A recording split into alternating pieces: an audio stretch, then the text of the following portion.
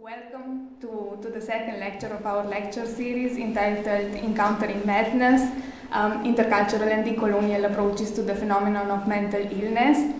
This series has come about through the collaboration of the Vienna Society for Intercultural Philosophy, the Institute for Science and Art, and the Department of Philosophy at the University of Vienna. Um, as you have probably already read in the invitation, the purpose of this series is understood as an attempt to challenge the Western mainstream understanding of mental illness by giving voice to positions that have been suppressed in the global context. For indeed, the Western modern discourse uh, continues to present itself as a universal truth, yet intercultural and decolonial orientations um, expose precisely its provinciality by not only criticizing uh, the cultural conditionality of its epistemic presuppositions, but also by pointing to alternative approaches to understanding psychological suffering. Uh, having heard Kirsten Rüther's presentation last time on deconstructing the, co the concept of mental illness from a South African perspective, today we are happy to introduce our second speaker, Karim Mitha. Uh, Karim Mitha is a public health specialist with additional interest in religion, having studied Islam but also Arabic in Syria. Um, thus, he has an interdisciplinary and international academic background his focus lies on psychology and health. Uh, is teaching and researching in the UK at the Usher Institute and Edinburgh Medical School. His research teams employ sociological approaches to diversity and cross-cultural healthcare, or more specifically, issues of social exclusion, acculturation, experiences of care, especially among um, migrant and Muslim communities. I would like to thank you um, also on behalf of my colleagues for accepting our invitation and being here today. And now I'll hand over to you. Uh, thank you, Christina, and thank you um, for the invitation. It's a pleasure to be here and to speak with you all. Um, and thank you all for uh, making the time uh, this evening to attend this talk. Um, and hopefully it's engaging, and hopefully you learned something at the end of it. Um, so I'm just going to preface this by saying the um, I understand, given that the topic you've looked at various different cultural contexts of understanding how uh, mental health and illness can be construed. I think when we talk about Muslim communities, um, it's quite important to disentangle this element of what's sort of religion and culture. So throughout the presentation, I'll be discussing elements of how what we see as more the theological approach versus the, the cultural element of it. Um, so there's a few uh, areas that I want to discuss throughout this presentation. Um, I appreciate people come from different backgrounds and different contexts, so I'm just going to do a bit of a primer on some of these topics for you. Uh, initially talking about Islam and Muslim communities, and then going into the debates regarding mental health and illness, which I think is going to be of interest to this audience. How do we construe concepts behind uh, what we label as madness, for example? Um, and then the theological dimensions of uh, conceptu- uh, Islamic conceptualizations of mental health and illness. Uh, I'll then talk about how these can be construed in Muslim communities. Uh, and then I'll talk about within um, any discipline really, there are obviously debates and critiques, so I'll talk a little bit at, towards the end of my presentation as to the uh, challenges within the Muslim mental health sphere and what does that mean and what are the current uh, uh, discourses uh, being conducted there. Um, so to start by the very basic of, of what is Islam and what, who are Muslims. So as you can see by the graph uh, um, on the right hand side, this shows the uh, across the world the proportion of population which are Muslim, um, and uh, at the bottom you can see the various denominations uh, of Muslims um, around the world. So there, it's estimated that there are about 1.8 billion Muslims worldwide. Um, Islam literally means to submit, and it is said that um, the Islam comes from the um, the revelation to the Prophet Muhammad in 610 AD, um, and that's a lineage of straight from Adam, Moses, uh, Noah, uh, Jesus, um, within the Abrahamic tradition. Um, Muslims believe that uh, Muhammad was the last prophet, and they um, follow the, the Quran, which is the holy book. Um, and I'll go into how the different denominations, uh, as well as some of, bit of their theological um, underpinnings. But um, there are two major uh, sort of splits, denomination sects, if you call them that. Um, about 85 to 90% are Sunni, they're the mainstream branch. Uh, about 10 to 15% um, are, are Shia. And so the differences therein primarily lie amongst um, who is the um, holder and leader of the community following the death of the Prophet. Um, often Muslims tend to be racialized or assumed to be Arab when actually only 20% of Muslims live in the Middle East and North Africa. Uh, Two thirds of the Muslim population globally live in, um, in Asia, so countries, for example, uh, Pakistan, Bangladesh, uh, Indonesia, Malaysia, there's um, uh, predominantly more Muslims there. Um, there are differences um, in the various um, fiqh or jurisprudence um, or schools of thought. There are the four major schools of thought in the Sunni tradition and the two in the Shia uh, tradition. Um, I'm not going to go into the, the, details, it's not necessary for this presentation, but just to show you uh, the concepts of as much as we want to think that Islam is a monolith, there's actually great heterogeneity. Um, in there, we can see by the theological underpinnings as well as the cultural backgrounds. Um, the major pillars of faith, again, we may be familiar with this concept of the pillars of Islam. So within the Sunni tradition, there's the five pillars of the Shahada, which is a declaration that there's no God but God and that Muhammad is a messenger of God. Um, so, so fasting, we're familiar with Muslims fasting Ramadan, uh, zakat, uh, charity, salat, prayers, praying five times a day, and Hajj, which is the pilgrimage to Mecca.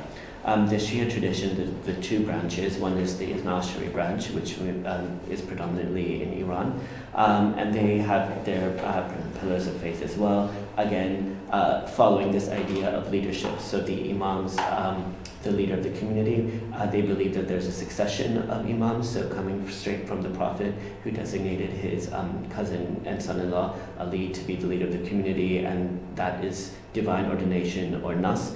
Um, and so there's a, gen, um, a, genealogical lineage of imams within the Shia tradition.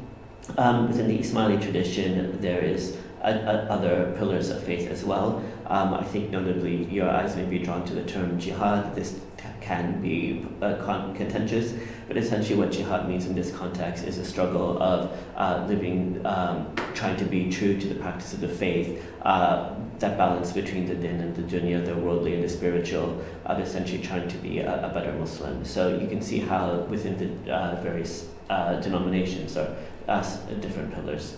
Um, what overarchingly we have as the guiding principles, again with variations and um, recognizing the differences within the Shia tradition, um, are the main um, guiding principles, if you will. So the Quran being the holy book, which was um, uh, sent to uh, the Prophet by God, um, the Hadith, which are sayings of the Prophet during his time, which were then later uh, collected by his companions. Uh, the Sunnah, which is basically the traditions or behaviors or the customs of the Prophet. Um, it is common that many Muslims uh, believe that following the Sunnah is quite important. So, um, the way that, for example, they interact, the way that um, you turn, um, if the way you're being buried, for example, you have to follow certain traditions, and that's following this the sunnah.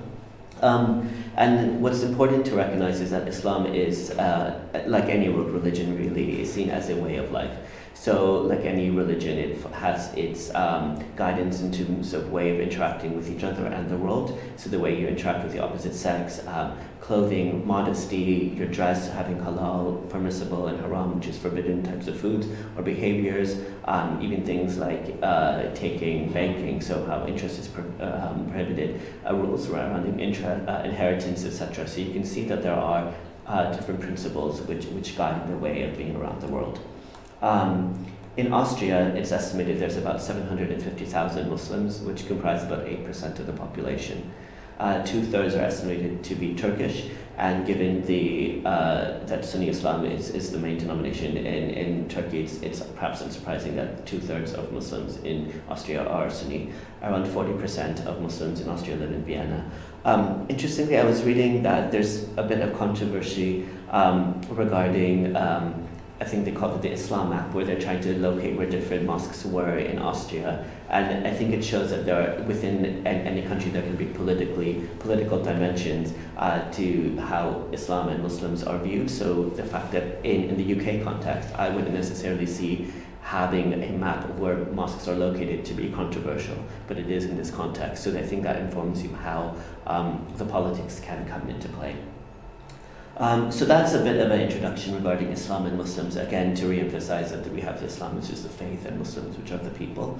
Um, so I'm now going to go into a bit about mental health and illness, I think, which is what people here are quite interested in. So obviously we've got the biopsychosocial model, um, which the global mental health movement um, from, from Vikram Patel um, from, uh, propagating and promoting that viewpoint of the global mental health movement in the biopsychosocial framework, saying that there's an interaction between the biological, psychological, and social.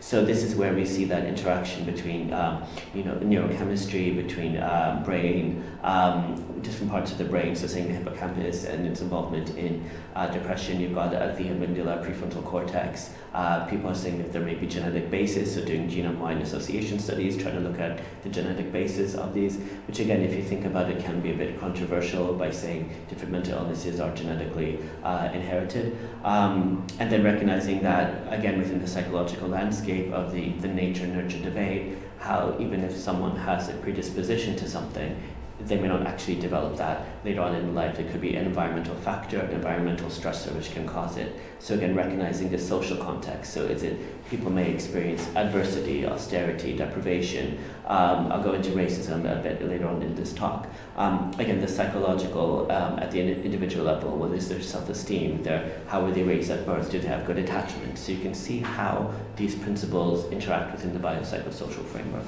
Um, now, that's not to say it's been accepted. I think that this series shows that this can be quite contentious and people have different frameworks. So we've got um, critical psychiatry. Um, so Joanna Moncrieff's uh, group at the University College London um, shows that there are debates within this, the psychiatric uh, landscape regarding this um, mental illness, uh, what we label as mental health, mental illness. Uh, Thomas Szasz, Ivan Illich from the 1960s, from the anti-psychiatry standpoints, talking about there's a myth how you can often is it about pathologizing different people's behavior? Is there an aberrant? Is there a normal? Is there an other? Are we pathologizing normative responses to stress?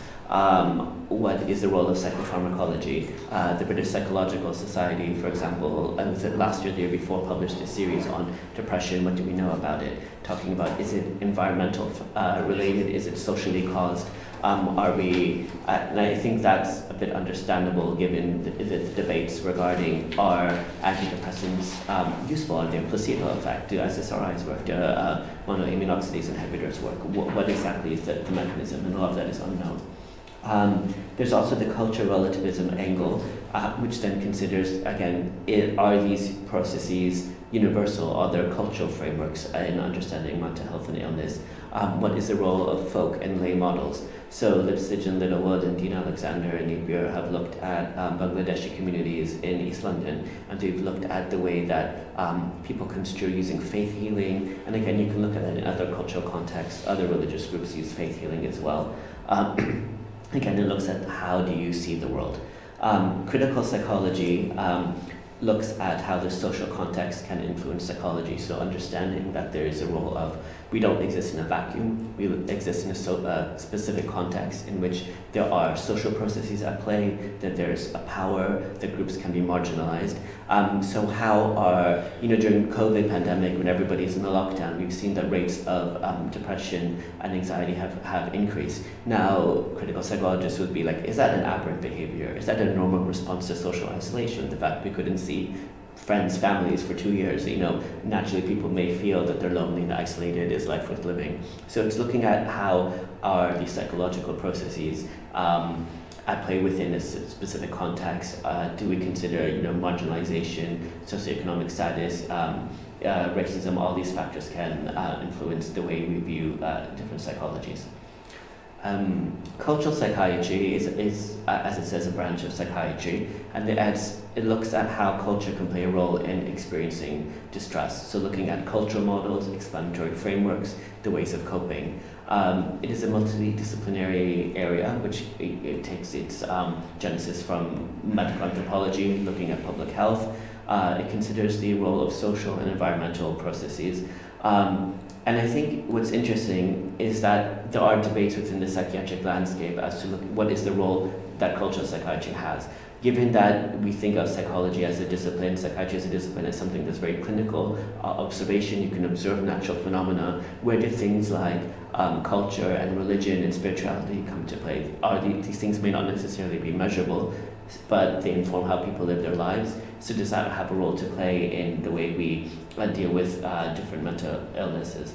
Um, and what cultural psychiatry does is it recognizes there is this, this hegemonic view in diagnosing and interpreting uh, mental illness. Um, culture psychology, again, similarly looks at the role of culture and how that influences uh, psychology. It recognizes that there's an interaction between people and culture.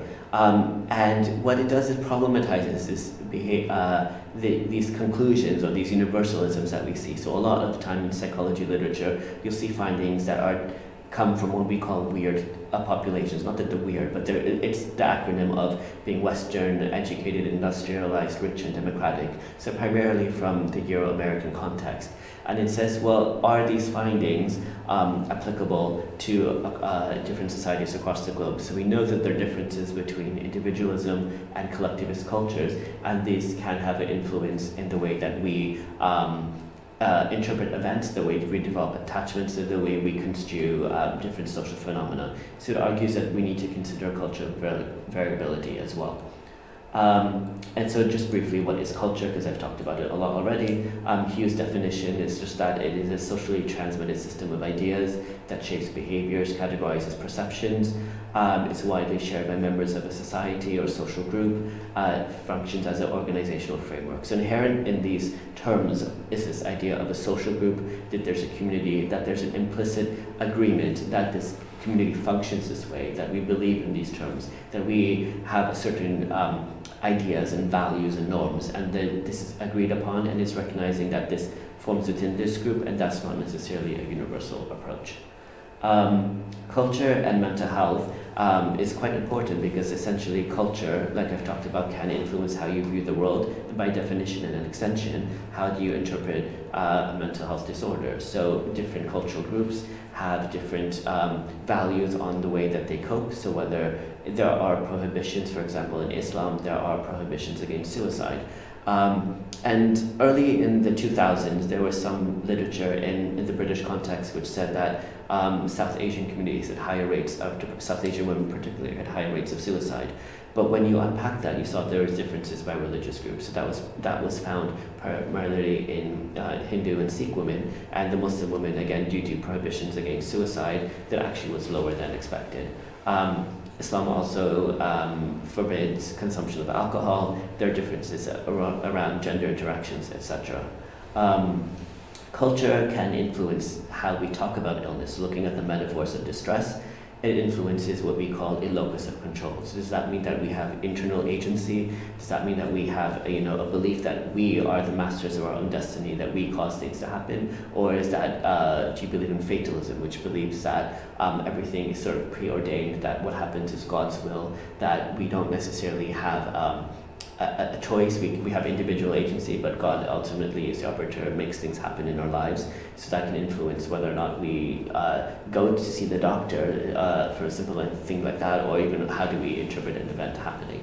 Um, if you look at the relationship between religion, culture, and mental health, um, several studies have shown that increased religious involvement has been positively associated with greater psychological well-being and lower levels of depression.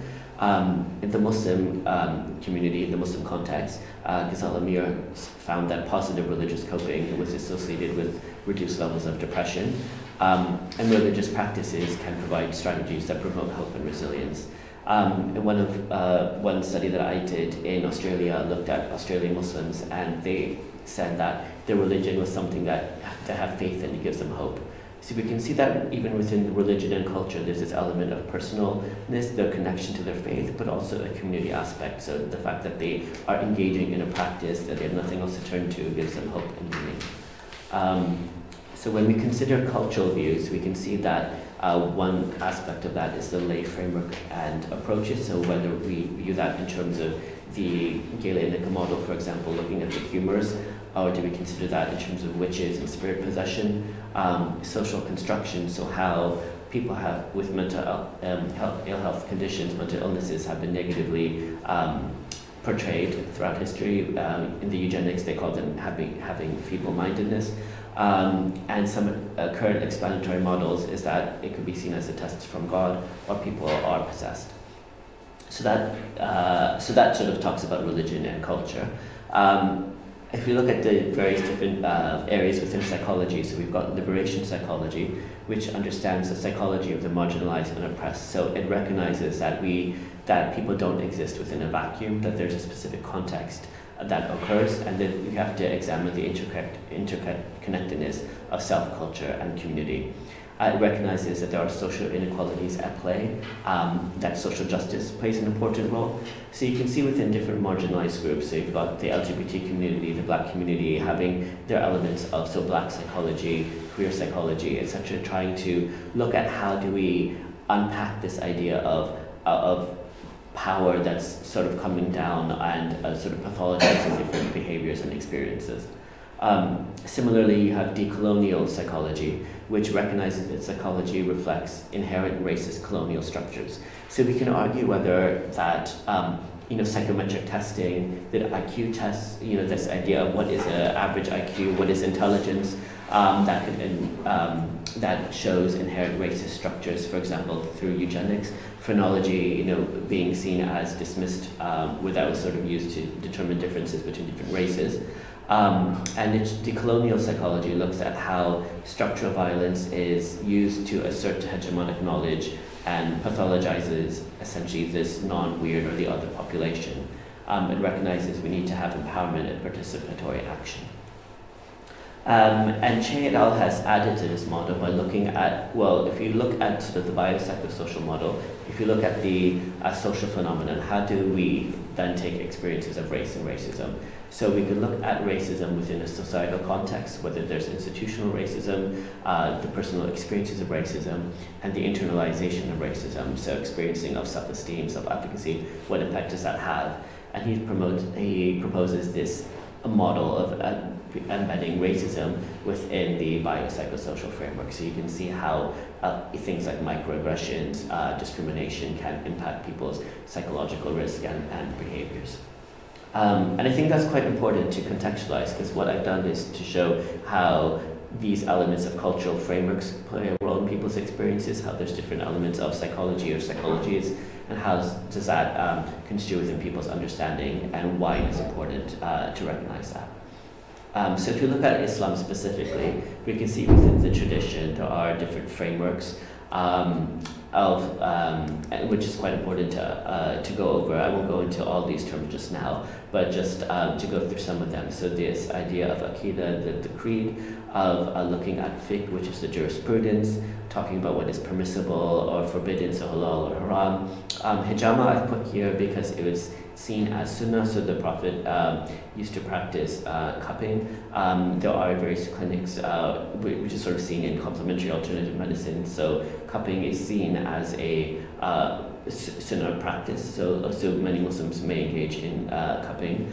Um, and then if we look at sort of the theological dimensions, looking at Rahmat, which is, you know, mercy, of God is merciful, um, Shifa, which is the idea that there's a cure, uh, which is repentance, uh, which is purification, and the idea of there being a Muslim ummah.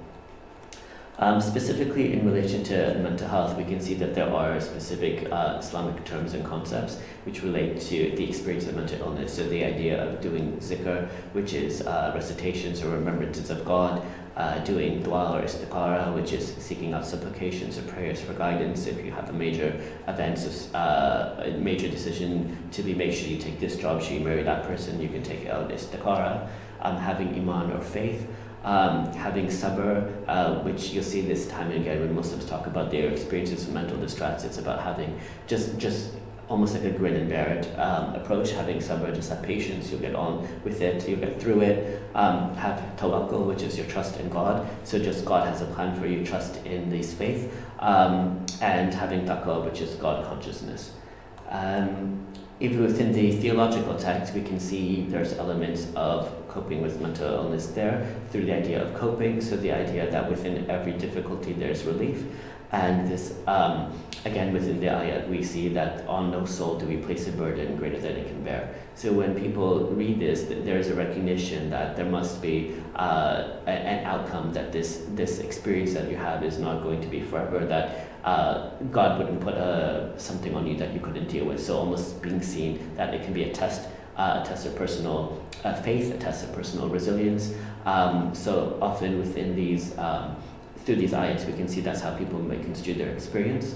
Um, again, the concept of patience. So it says within this ayat, um, those who have faith take recourse in patience and prayer. So sabr and salat, uh, Allah is with the, the patient. Um, we shall test you, and those who will, uh, we will give glad tidings to those who patiently persevere. So there's again this element of uh, people will be tested, they'll encounter difficulties in life, but have patience and trust in God, and that He will see you through it essentially. Um, within the, uh, again, we, we see another ayat that says, have, uh, seek help in patience and prayer. Um, and again, this idea of how do we treat the mentally unwell is to provide for them, clothe them, and speak kind and just words to them. So this is quite important because it, uh, this ayat essentially gives um, sort of the justification of ways that uh, people in the past may have helped those who have mental health conditions um, in, in, the past. And whereas right now culturally we can see that there are people who have negative portrayals, um, that people may be stigmatized for that, but actually theologically speaking, it says that we should provide for them, give them respect, treat them with kindness, essentially, um, give them kindness, etc.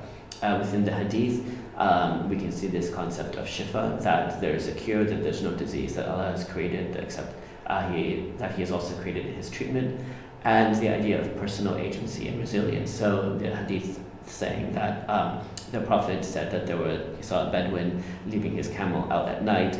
Um, the Prophet asked, "Why did you tie your camel?" The Bedouin said, "Well, I put my faith in God." Um, the Prophet says, "Well, you should tie your camel first and then put your faith in God." So essentially saying that people have their own ownership and agency, and they have individual responsibility as well, and then God will help you. Um, so if you look at, again, within the theological concepts of how do we view this idea of selfhood and um, spirit and uh, the psyche, so we can see that there are four elements at play. We've got the akal, which is intellect or reasoning, the ruh, which is the soul, the qalb, which is the heart, and the nafs, which is the self. Um, and what exactly is the nafs? Um, it is the Islamic concept of the self, and it says that there is a relationship between the jism and the ruh, which is the body and the spirit, um, and so this model, uh, I appreciate, is very uh, a bit clunky, and it, it is debatable whether we can actually overlay these Islamic concepts onto this Freudian analogy. But but many people have tried, and it's almost like a rudimentary approach of looking at things. It's not not necessarily the best fit, but I guess for for comparability, we can use this analogy of saying that there's the nafs al-amara, which is this uh, the basic element of, of instinct, it's animalistic temptation. Um, so you can overlay that to the concept of the id. Um, and there's the nafs al which enables reasoning, of intellect, of looking at self-reflection, which again you could consider that to be the ego, and the nafs al which is the process of inner peace, tranquility, and self-actualization. So I, this, this process that you go from the nafs al-amara to the nafs mutmainah, so going from the animalistic basal, being not being able to control oneself, going on instinct, to self-actualization, um, that's the process that ideally one, one would want to attain. Um, and so Sufism, which I'll get to in a bit, it, it just it takes us forward, essentially saying that to attain enlightenment, um, you have to go beyond the nafs al-amara, which is the lustful soul, uh, to the nafs al-mutmainah, which is to achieve self-actualization. Uh, the Islamic concept of the self is that um, the fitra or human nature, um, this idea of original sin doesn't exist within the Islamic tradition. It means that people are innately good. But what happens is that through the process of ghafla or forgetting, um, people are amenable to Satan, and through that they commit um, sins, and through the influence of nafs al-amara, and that this idea of being sinful is through spiritual mental weakness. So essentially, we, in order to not be sinful, we need to strengthen our, our soul, strengthen our nafs. Um, and the akal and the qalb are help to modulate that influence of the nafs al-amara. Um, sort of a visualization that Rothman and Coyle produced was is this idea of how do you go from the dunya, um, which is the worldly, to the din, which is the spiritual, to the akhirah, to the hereafter with Allah. So you go from this uh, this um, this space you have the nafs and you have the nafs al-amara bil which is being um, influenced by, by sin, so committing sinful acts, the mulikat, and then you have the qalb and the akal, which help to not modulate that um, element of the nafs. So through the principles of being, the suludin, the tatib al um, and then so you get into being saved, the munjiat, and you have the nafs mu'ena. Essentially that, that process of moving from one layer to the next, of trying to uh, go through that process from ghafla to, to essentially uh, attaining your natural instinct, which is the, your fitra, which is to be good, and going back to Allah. Um, we can see within um, historical Islamic approaches to health. So remember, I showed this Quranic uh, ayat which says for people who are experiencing mental illness, we should care for them, clothe for them, etc. So you could see that within the um, sort of medieval Islamic tradition, um, they used a model which was sort of the Galenic theory of, of medicine at the time, where different humors were said to influence um, different um, conditions, so whether you're anxiety, um, whether you are melancholic, uh, for example, you have, there's an imbalance between the humors there. Um, Ibn Sina wrote about uh, in his Kitab al-Shifa, looking between reasoning and mental health, linking temperaments to mental ill health. Um, Al-Balkhi talked about the differences between Al-Tib al-Ruhani, which is spiritual and psychological medicine, Tib al-Qalb, which is uh, mental medicine, um, and he looked at what we could consider now to be rudimentary cognitive um, therapy, so talking to people and trying to understand the root of their experience. Um, he classified depression or huzn into three elements, which are which is everyday sadness, you know, the kind of sadness we, we could experience on the day-to-day level, something that's innate or endogenous, which is um, prenatal factors which could precipitate distress, or something that could happen due to an external event. Um, and at the same time, we also had this um, development of the Bimaristans, which literally means place of the sick. Um, and in that, we have uh, evidence of looking at different therapies.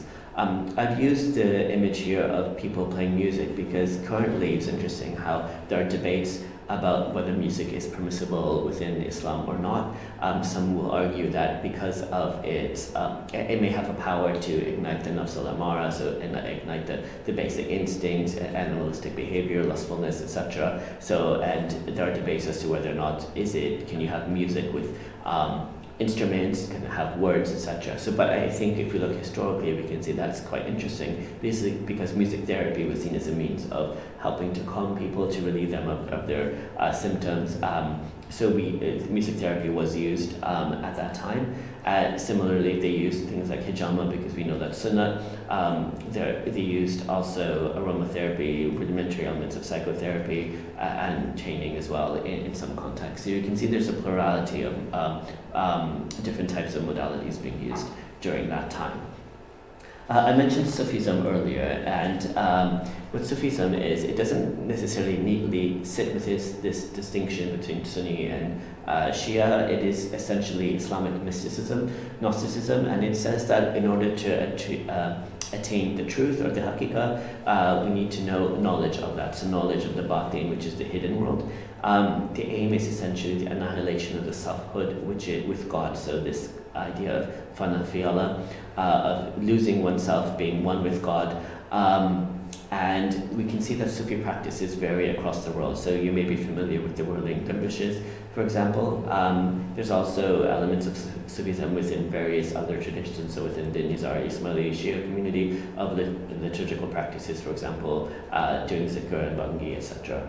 Um, he, he, with Sufism, you want to move on from the nafs al-amar, so being uh, rid of that lustful soul, the animalistic instinct, going to self-actualization with the nafs al um, you can perform a zikr in a private space or in a community with this to the majalis, and essentially through that, almost like if you look at it from a sort of a psychotherapeutic context, or you have your therapist which, gu- which guides you. Similarly, within the Sufi principle, you have the pir, the master, who helps um, his devotees or the murids uh, through that process, and the murid essentially will pledge his allegiance or baya uh, to the pir to take spiritual guidance from him. Um, again, to get home this message that there is heterogeneity within the Muslim tradition, uh, Sufism is also controversial because some um, may say that it is bid'ah or innovative. We didn't necessarily have that during the time of the Prophet. So this is something that is permissible within Islam or not. The fact that you're using um, a human being as a pir, as an intercessor, the fact that obviously in this picture you see dance, that zikr can be performed with music, so you can see how some elements can be controversial. Um, within the Sufism and mental health context, again, this idea of having a holistic approach to health. Um, nowadays, we talk about mindfulness and meditation as being important to having mental well-being. Um, you can see within the, the Sufi tradition of having zikr and fikr that can be analogous to meditation and mindfulness. Um, going beyond the now and the body of trying to attain this self-actualization, beyond this to go into fanafila of having um, uh, you know, connectedness to God and seeing that, well, this disconnect could be due to, uh, so this madness could be due to having a disconnect from God because you're far from God, so that can uh, lead you to be astray and you can be uh, essentially mentally unwell. Um, we see in different communities the performance of zikr and bangi can impact mental well-being. So I think that's um, a bit of overview regarding the theological landscape of mental uh, health uh, through the Islamic side of things. And I think I want to go more into now about looking how it's construed within sort of the Muslims, so recognizing how, how people, how the culture influences things. Um, so we look when we consider in Muslim communities again the importance of having cultural frameworks, cultural understanding, um, how that can impact people's conceptualization. So the idea of ayn or nazar, so the evil eye, you'll hear this very commonly that if something has happened to someone, some ex someone experienced a negative event, um, that someone has put nazar on them uh, wiswas, which is whisperings, or sihr, which is magic or black magic. Um, these are very cultural dimensions which people believe can influence um, or cause mental illness. Um, this idea of cultural relativism, again recognizing that psychology and psychiatry didn't have at its core religion or spirituality. People may view this as having a Western construct that it's not applicable to Muslims because it's devoid of anything to do with religion and spirituality.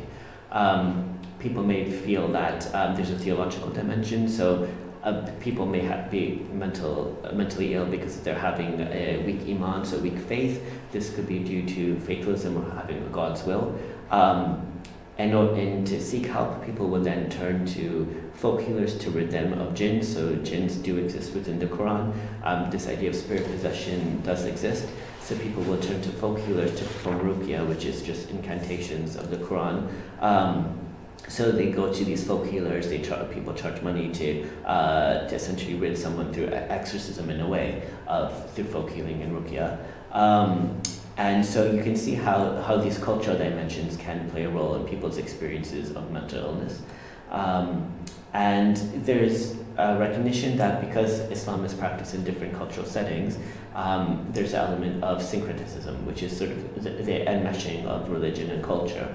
Um, increasingly in diasporic communities, there's debates between generations by saying what is Islam, what is culture. So what, say, a first gen uh, generation, what parents or grandparents' generation who moved to a specific context may feel that actually that's Islam. The younger generation, millennials, Gen, Gen Z, uh, people who, who migrate to uh, or sort of born in a new country may feel that actually their identity is to be more Islamic, um, that what they see their parents practice is not necessarily that's culturally influenced. Um, so there is there is a debate being had right now as to what, what is purely authentic Islam and what is Islam seen in, in a cultural lens. Um, we can see that in, in, several studies they've shown that um, using Islamic terms for cultural practice essentially makes them permissible. So whether or not a folk healer is using terms like ruqya or jinn or tawiz or um, as, as saying that these have an Islamic dimension essentially makes them more acceptable, whereas people at the outset may say, well, folk healer isn't necessarily Islamic, so we shouldn't do that.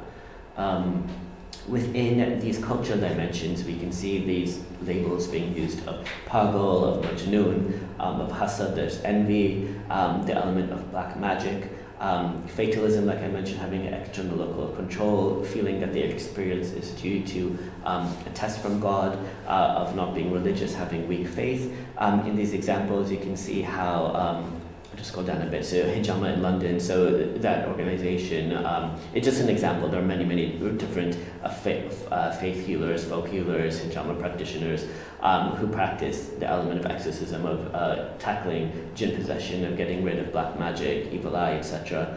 Um, in this picture, um, in the middle, you can see here someone who's experiencing schizophrenia, um, a psychotic episode, and the um, faith healer at the time is reciting passages of the Quran, performing ruqya. Uh, and again, in the above picture, going to folk, uh, faith and folk healers um, for spiritual healing um, uh, in terms of that, that cultural dimension. Um, and so you may ask, well then, wh- why are people going to the folk healers rather than the allopathic or the conventional mainstream medical practitioners? And I think there's a combination of factors which um, um, are influenced and are said to influence that. So if you look at, say, in the British context, we can see that Pakistani women have um, high rates of common mental disorders, so high rates of depression, high rates of anxiety.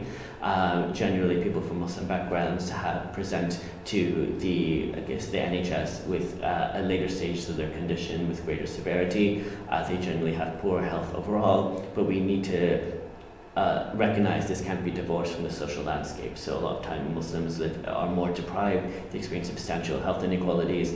Um, generally, the Muslim uh, population in the UK, for example, 50% are under 25. They have higher parity, so number of children. Um, if you look at referral rates and outcomes from mainstream NHS providers of um, sort of cognitive behavioral therapy, which the NHS gives, um, Muslims have the lowest um, recovery rate. So this could suggest that something isn't really working. Mainstream CBT isn't working for the population when you have 40%, only 40% of, of Muslims who engage in this actually recover compared to 60 uh, percent of sort of the white British population. So should suggest that um, it's maybe not be um, working for that community. Um, there's a substantial use of traditional medicine. There's a strong distrust of mainstream um, medical services and this could be due to experiences of uh, almost pejoratively being labeled as Mrs. Bibi syndrome, that people go to the GP complaining of non-specific aches and pains, the back hurts, they've got a headache, they feel tired, they can't sleep. Um, we may recognize increasingly this to be symptoms of depression, but often for people of Muslim backgrounds, there's an element of, well, we're not going to talk about our mental health because that's stigmatized and taboo, so we'll express these through what we term somatization or expressing mental distress through bodily sensations, through physical illness. Um, there's a fear that people may experience racism and discrimination within these spaces, um, that cultural practices may be labeled and pathologized as otherized, and if you go to the, uh, there's a perception that if you go to the GP and you, if you think that someone's put nazar on you, uh, is, that, is that someone going to actually understand what you mean? So the fear that there's a cultural disconnect as well. Uh, within the community itself, and this can be a bit controversial, uh, but I think it's important to talk about. Um, I've put this um, uh, image on, on the right side. Uh, in Urdu, it says lo which essentially translates as what will people think. And this is a big, big barrier within addressing mental health issues within the Muslim communities um, because it is they are, they are collectivist communities. The idea that something happens to you or your, your actions reflect not only on yourself but on your family. So if, for example, someone has a mental illness um, within the family, it seen to be heavily stigmatized because it affects the marital prospects of someone else in that family. So say if you have a mental health condition, your brother or sister will not be able to get married if people find out. If you're experiencing depression or anxiety or, or OCD or eating disorder, again, this is going to impact, look bad upon your, your parents. What kind of parents are they? They raised you poorly to have this. Or maybe God is punishing you or people may think that they've done something um, that someone else in their family, so they've done something to displease God, so someone else in their family has now experiencing mental illness. Um, so there's also an element of is is really important. So having cultural honor, um, saving face in the community, community reputation being very paramount. Um, there's also um, this idea of policing behavior. So, like I mentioned earlier, certain behaviors are not seen as Islamically permissible. So, whether or not you, um, for example, if you um, are have a substance misuse. So, so alcohol is forbidden in Islam, yet people do have alcohol addictions. Um, sex outside marriage is forbidden, but if people have a pornography addiction, can they go to someone of their own community, uh, GPN, to, to, to talk about this? So that we've seen as culturally stigmatized or taboo. Sex outside marriage, if someone is experiencing a problem with their relationship or is pregnant and they're not married, that can have uh, big problematic implications within the community. So people may feel judged within their own, um, by their own providers. Uh, there's also very gender dimensions as well. So um, I, I, using toxic masculinity, I appreciate it is controversial, uh, but there's almost this uh, double standard between men and women. Men can do things, um, so it's almost acceptable for men to have girlfriends, whereas women should not. Uh, should, should be virgins before marriage, etc. Um, and women are sort of assigned to the, domestic sphere. This idea of problems between the wife and the mother-in-law is almost seen as an open secret. There is almost expected to enter a marriage and have uh, problems. So you can see that because of these cultural dimensions, that can affect people's well-being. Uh, we also can't forget the fact that are wider determinants at play. So obviously Finsbury Park, where there's the attack uh, happened against Muslims praying, um, we've got the English Defence League saying ban the burqa, so examples within the cultural context of how uh, the framework in which Muslims are living sort of heightens their sensitivity, heightens their experiences of sort of feeling belonging, heightens their um, elements of, you know, um, self-efficacy. Essentially, if the culture uh, environment in which you're living in says that you don't belong, how is that going to impact your sense of well-being? So experiences of culture clash, as a fact that social mobility is very much a challenge. If you look at the migratory history, history particularly in the UK, Muslim communities moved in, um, take, uh, helping the labour force after the Second World War, working in manual labour type jobs, for example in mills, when those were closed uh, due to industrialization in the 90s, a, a, substantive unemployment. So you have groups of people who are living in deprivation, um, seen as working class. You have within the tab British tabloid press portraying Muslim men as rapists, gang rapists, um, sex addicts, etc. So you can see why there are problems um, of essentially being socially vilified as a group. Um, prevent strategy, so um, within schools, so if someone says that they're going to the mosque, is that going to bring, ring alarm bells amongst teachers by saying this person is being radicalized or not? So essentially being told that they don't belong within a community. Um, and I put the slide purposefully because you may be thinking, well, what does racism have to do with mental health? Why is he even talking about this? Um, it is, it, we see this actually within many minority communities. So if you remember, I talked about earlier liberation psychology, decolonial psychology, how different groups have their experiences and cultures, so black psychology, queer psychology. Um, there are several studies which looked at whether, say, if you're African American, Latino, a Maori in New Zealand, the, the very um, experience of marginalization can lead to poor psychological well-being, higher rates of depression, higher rates of anxiety. Um, for Muslims, um, we know that religious identity is very, very salient. It's almost the primary identity many have.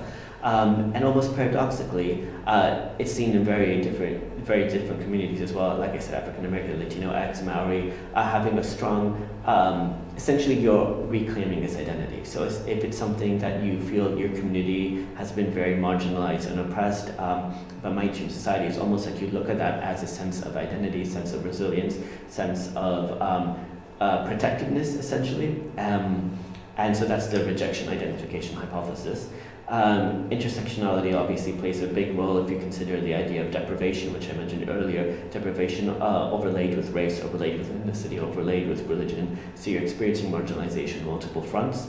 Um, there was a study that was done by Kteily and colleagues in 2013, and it was done in, in, the US and the UK. And they found amongst UK respondents, they basically asked people to rank where they thought different population groups were, how evolved they were on a ascent to man scale. And um, in, in the US, they said Arabs were less involved, evolved, and in the, UK, in the UK, they were saying Muslims were less evolved. So you can see how the social context essentially vilifies a population.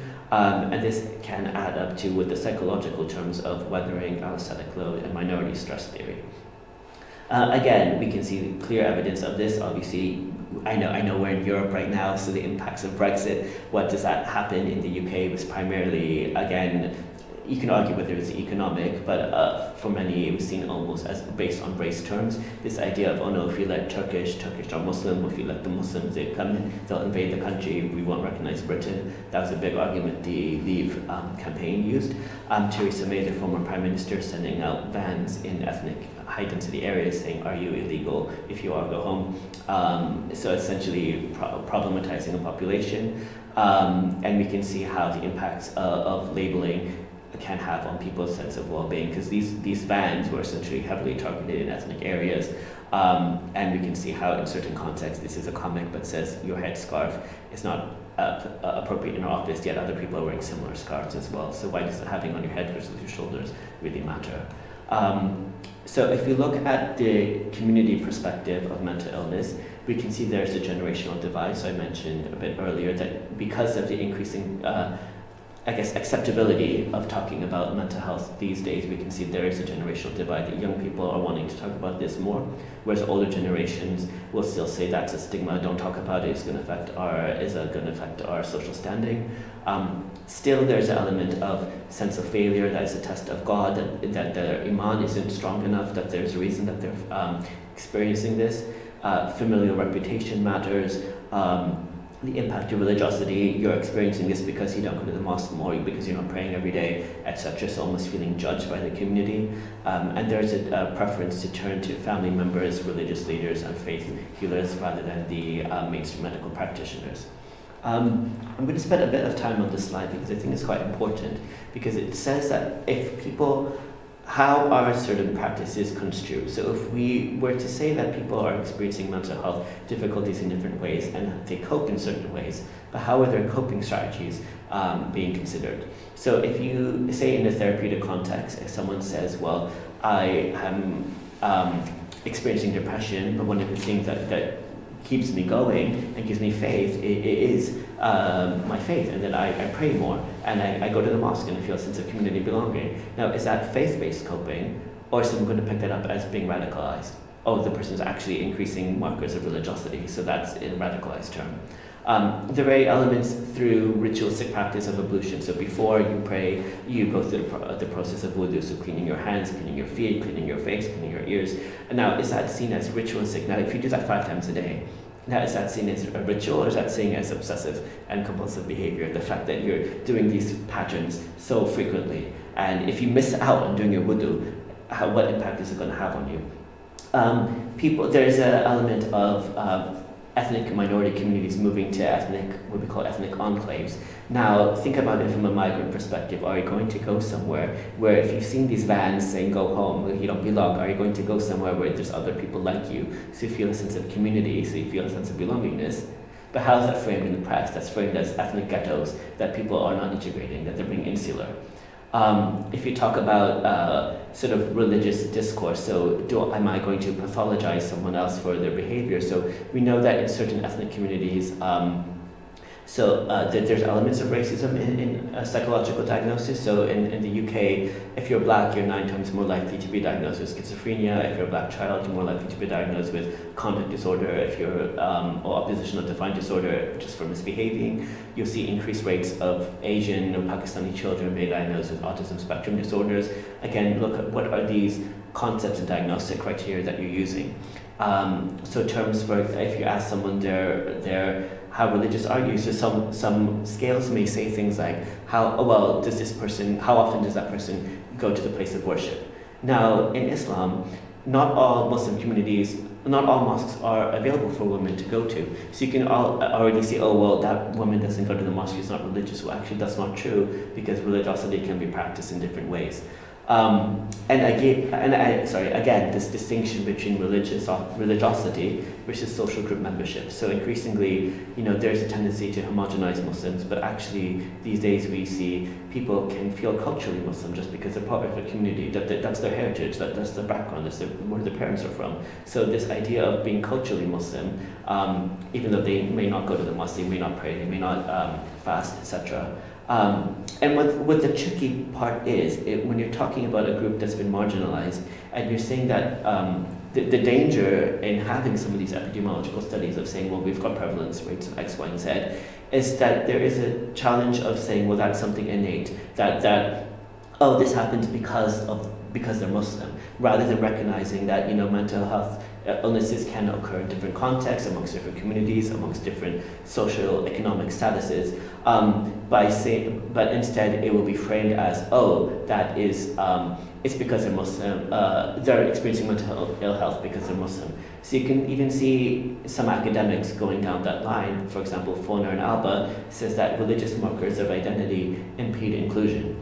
You have uh, Goddard claiming that being Muslim is a hindrance to mental health. So you can see how different academics have already started to use the narrative of this sort of race and mental illness by saying something's innate rather than recognizing the social processes or explanatory frameworks, etc. Um, and so you can understand then why there is challenges in, in using mental health services. So as I mentioned, Muslims are least likely to use, are more likely to use religious coping, less likely to use mainstream services. Um, there are, like I said, 43% of Muslims actually recover when they go actually, when they access mainstream cognitive behavioral therapy through the NHS. And there's an argument as to whether or not that is it because it's Eurocentric, individualistic, does that work for collective cultures? Um, what is the impact of acculturation? So a paper I'm currently revising um, suggests that may factor in. And we look at, and if you look at generational differences, Ibrahim and Whitley suggest there are generational differences as well. Um, and there was a study by Schnitker which looked across Europe and he looked at different religious groups and he found that Muslims have the highest rates of depression in Europe, but he found that actually religious identity moderated that. So what he meant by that was saying yes, they would have high rates of depression, but actually the rates would be even more higher if they didn't have a strong identity or social group ascription. So again, considering this social identity approach to um, health and illness. Um, I appreciate I might be out of time, so I've just got a few more, a few more slides, sorry, uh, Christina, so it'll be the last few, I promise. Um, looking at the inter-community workshops, so we now know that there are many community wellness workshops, uh, because of the lack of the epidemiological evidence base, the community, particularly in the UK, has taken upon itself to try to find out what is the nature of the problem. So they run community-based surveys. Now you can talk about are these representative, they're cross-sectional surveys, do they are they standardized, are they valid? Um, but what they found is the people who, who've co completed those surveys, 50% of respondents noted depression and anxiety, 30% said they had suicide ideation. Now remember I said suicide is forbidden in Islam, so now you've got 30% of their sample size was 1,000, uh, so 30% of that saying they have suicide ideation. This shows that there's, there's issues which are not being addressed because of cultural shame and stigma. Um, there are courses uh, on Islamic counseling and psychotherapy. Um, there's the International Association of Islamic uh, Psychology, um, the Revivalist Islam, is, uh, Revivalist Islam, and there are debates as to um, are we Islamicizing psychology are we psychologi psychologizing Islam? So what that means is, does psychology fit for us or should we find something else? Or actually psychology does fit, but let's use these terms, um, let's try to Islamize it a bit by using analogous terms like I talked about between the id ego and superego. We talk about the various elements of the nafs in that, so trying to find ways we can connect the two. So that's the debates that's currently being had. Um, regarding the narrative of Muslim mental health, so who, who talks about it, I think it's quite interesting. In the, the US, they have the Muslim Mental Health Lab by Rania Awaad, which has started to look at embedding uh, mental illness within sort of the health, the medical paradigm.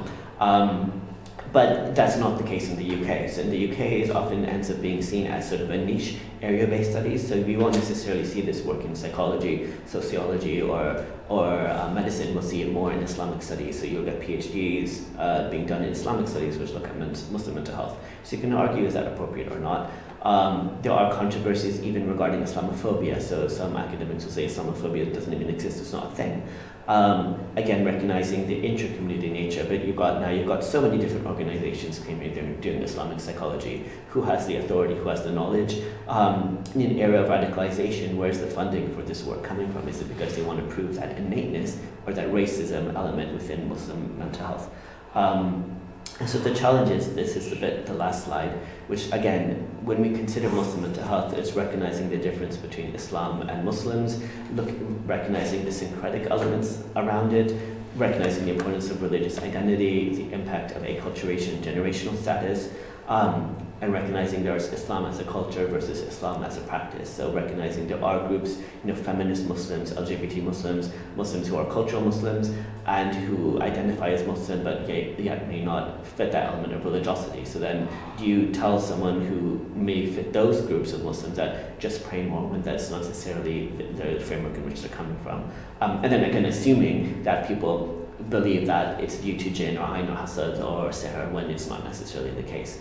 So I think that's a really broad overview. It's a bit of a complex overview, and I appreciate you guys for bearing with it. And um, I can see some really good engagement. So I wonder if you guys have any questions. I appreciate that's a lot um, to go through. So um, that's it. Thank you for your time. Yeah, thank you for your very complex and interdisciplinary presentation. Uh, it was really interesting. And now um, I think we have some, yeah, we have like 20 minutes left for discussions and questions. So if you have some, feel free to ask.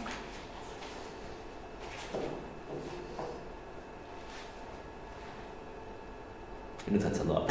so, so it's a bit of a broad overview, but I think with the, the interdisciplinary angle, which I think is quite important, because I think when you look at how um, mental health is construed even within a sort of a medical paradigm? Do you consider the anthropological, the social, the cultural? Um, if you consider from a theological standpoint, but then you're neglecting sort of the, the, social and the psychological as well. So I thought it's quite important to recognize just as people, um, you live within a specific social context and the ways that your your um, your ways of being and your interpretation of your faith is very much patterned and determined by your social context and your relationships. So that's sort of the that's why I took the approach I did.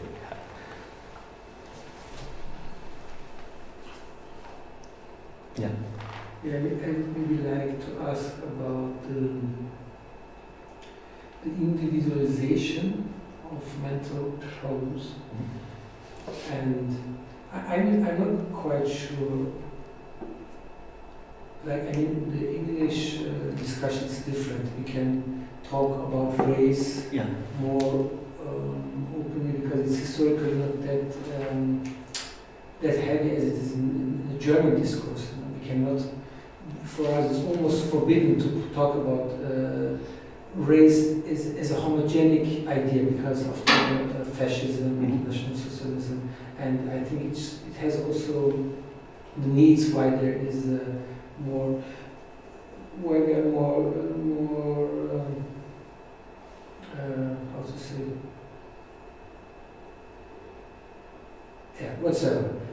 What I just want to say is that when you talk about Muslims, are you taking it really in the, in the English discussion as a race? Mm-hmm. Because then you are talking about Afro Americans mm-hmm. and you are mm-hmm. talking Africans, but yes. Muslims are not really. Also, the English discussion you would maybe say, German would say, it's not really a culture or a nation, mm-hmm. it's, it's a religion, like you can have it in Africa, you can have it everywhere. So that would be uh, one, one question. And the other about individualization is in many non-European cultures mm-hmm. and also religions, you don't have the idea so much as a, of an individual. Mm-hmm. And maybe there you have the, the biggest conflict between modern Western psychiatry, psychotherapy, which will always try to to see you as an individual which is isolated, can be isolated somehow mm-hmm. in its habit, in its uh, whatsoever. Mm-hmm. And it's not that culturalized the position as we have it, let's say, Arabic Islam, African Islam, and, or, or Far Eastern Islam, mm-hmm. like Pakistan. Yeah, so uh, I'll, I'll go, uh, I'll start with the, with the order you asked, and if I miss something, please feel free to ask me again.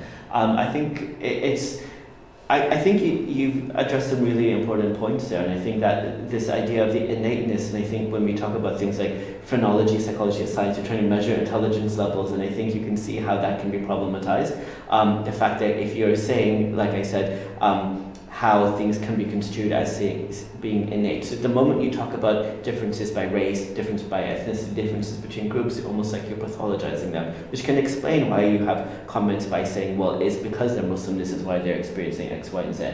I also recognize the point, I didn't get to make this in the talk, so I'm glad you, you, you brought it up, that yes, there are different Muslim communities, and the fact that, yes, in this country we've got a lot of, um, it's, uh, like I said, two-thirds uh, maybe Turkish, but that's, that's important because if someone comes in from Nigeria and they're Muslim, are they necessarily going to fit within the Muslim community here? They have that affinity of, yes, they're, they're, they're Muslim, but the cultural dimensions at play and the way that things can be practiced can mean that that person may not necessarily fit in, even though they're, they're Muslim. So I think that's, a, that's an important point as well. And in the UK, um, that racialization um, it is quite important because in the US, obviously, we've got the racialization of Muslim equals Arab. In the UK context, we've got that idea of uh, Muslim equals South Asian because, uh, again, the, the, the, migratory history of people came from South Asia, from Pakistan, uh, from India.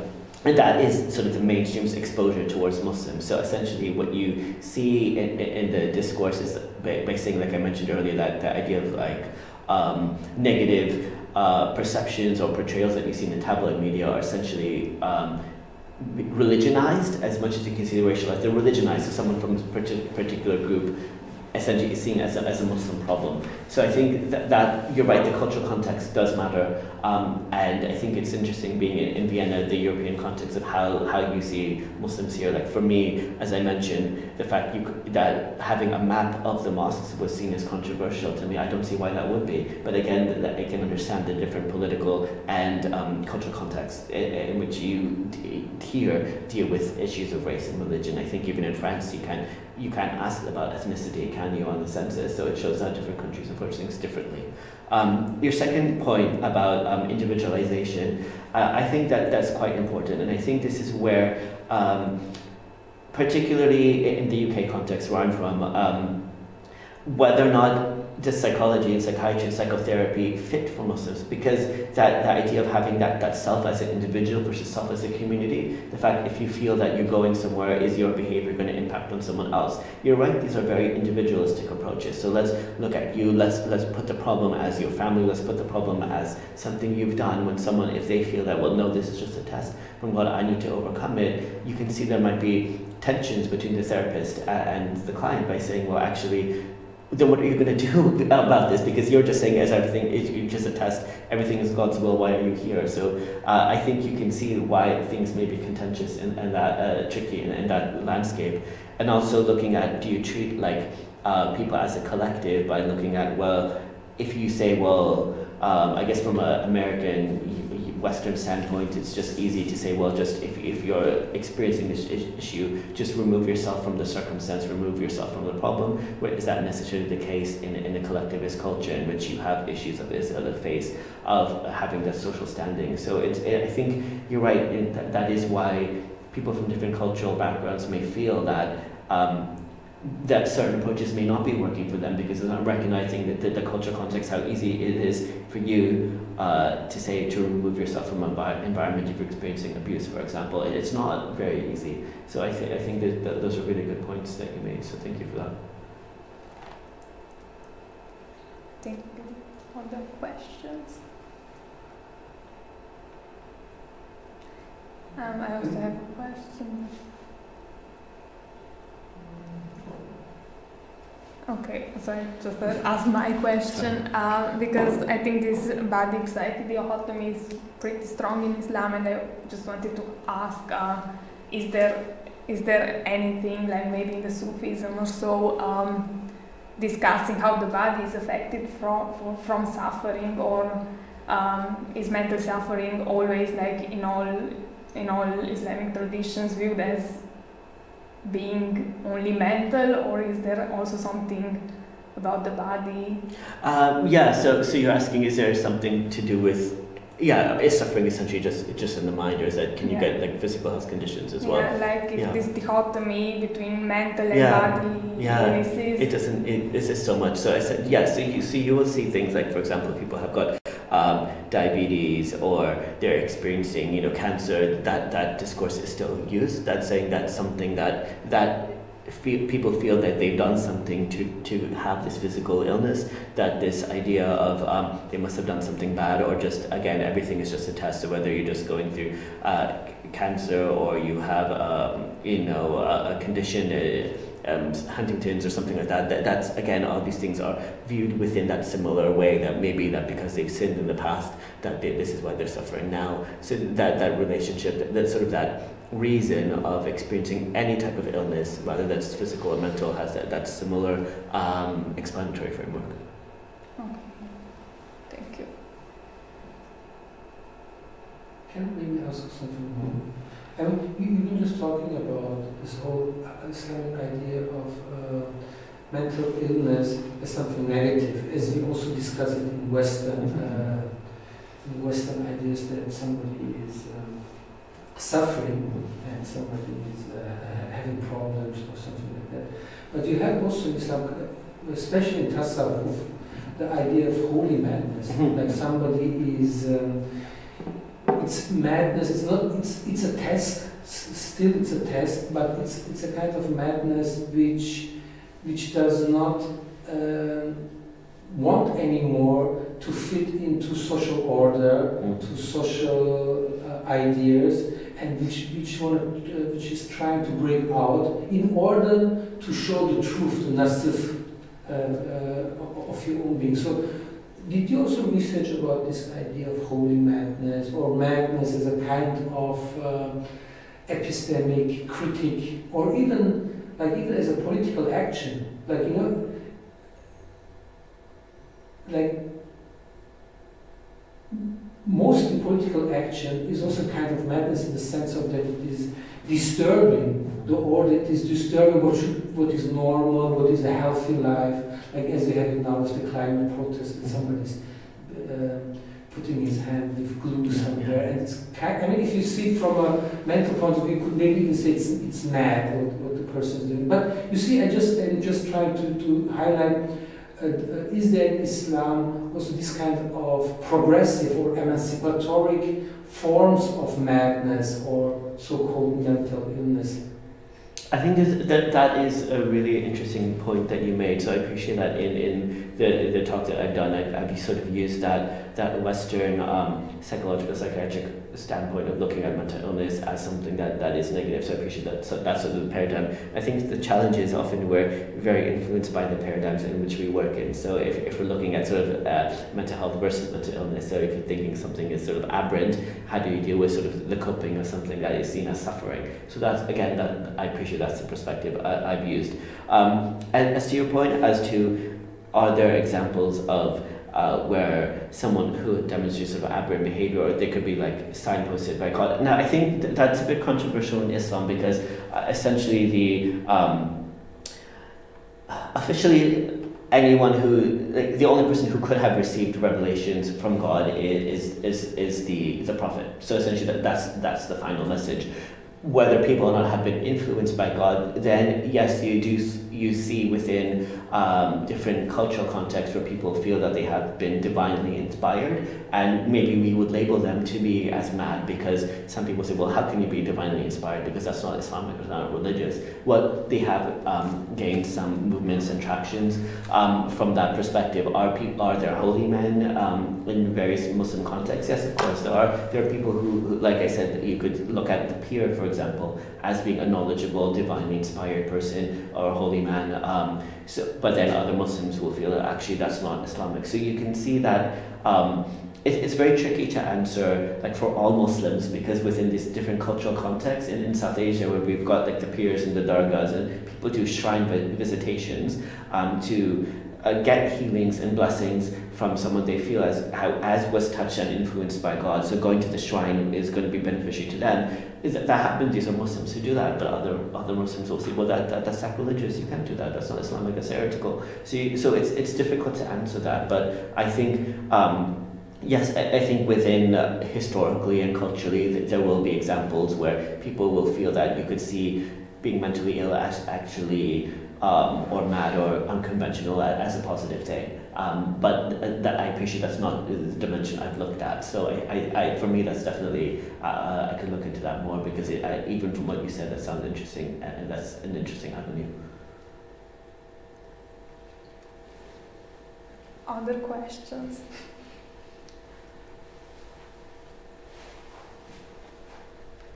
Okay, William. I have a lot. you can pamper me with that, which is fine. We can we can have a conversation afterwards. Yeah. Yes, I mean, it's very interesting. You have time for one more question.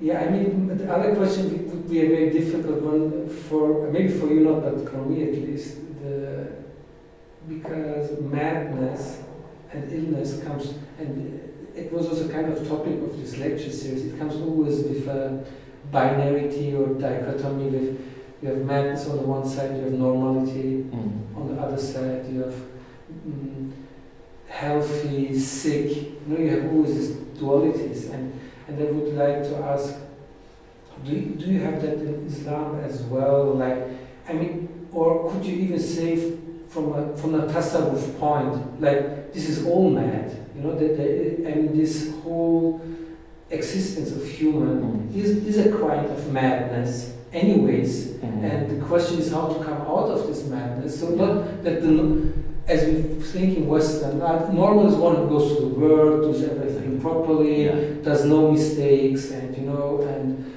and is correct in many many ways, and this is but maybe from a Tasawwuf point, that would be also mad, you know, because it's a, it's a waste of life just yeah. living that way, you know. So I really would like to ask you this: what what is normal, or what is, you know, what is the epistemic framework of reality, normality, and something like that. That's, that's something people will argue a lot of the time. So if, if within the Sufi tradition, you've got the, the, the fakirs, you've got people who will be ascetic, sort of distance themselves from the physical life because to them it's like, why, why am I here? This is dunya, this is ghafla, uh, what, what am I doing here? There's no point. What is, what is the point is to be to the concept of fana fillah, of being true to God. So maybe, and they will be seen as mad because they're uh, abandoning the, the physical world um, and people will say, well, you can't abandon the physical world because you live in it. So how do you remove yourself from that situation. Whereas you know, the, the fakir will say, well, actually, this world is madness. So I, I really like uh, that, that, that, that direction you took because um, you'll see like Sufi poetry, you'll see uh, Sufi um, songs being written, uh, people will, will have these stories, and if you go through this, you know, poets like like Rumi will talk about, well, what is the point of, this? The, the only point is this, uh, like, this reality is meaningless. It has nothing to do. The only reality is truth, and that's the the, the hakika with with uh, with God. So then you can see how. Um, for them, this world is madness. So again, I like that element that you said. This that, who who's defining what what mad is, and whose terms is defining normality. And I think that goes back to again this theme throughout this lecture series is that if we take this sort of Euro-American Western biomedical construct of like this is how things should be, everything else like what do you mean someone doesn't want to work? Someone doesn't want to go through the idea of the rat race, wake up every day six six to six and work and come home. Uh, for us that's normal. For some people they go, what's the point of that? I'm room room myself in this situation. Again, I think this point that you made of um, protest, I think that's quite important because uh, for me that's personally, I would say that is an element of interacting within society. But again, that's why we need to consider the social and political context. So if you've got um, like in, in the UK, it, it, it's a bit of a, a, contentious point right now where they're trying to make uh, protests illegal. Um, there's some the Home Secretary is trying to um, make some laws, and it, it's caused a lot of issue because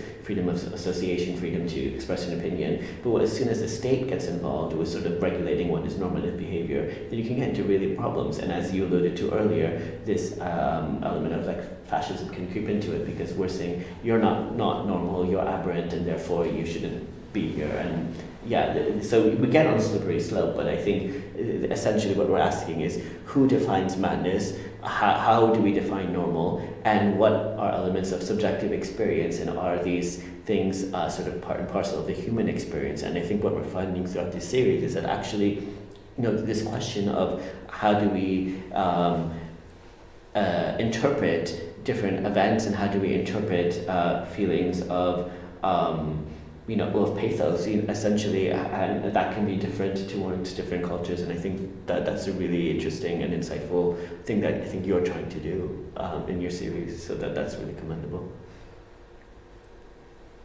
Okay. Yeah.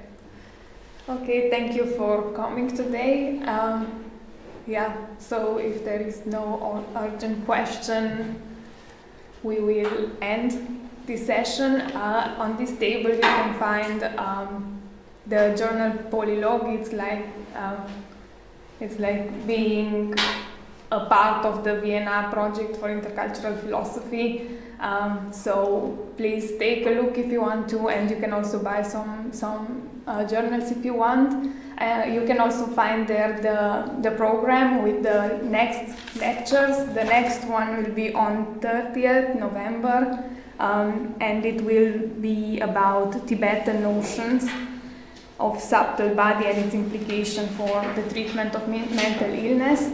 Um, yeah, I think that's it. Um, thank you, Karim, again for coming and for your interesting presentation, and thank you all for attending this. Yeah. Thank you.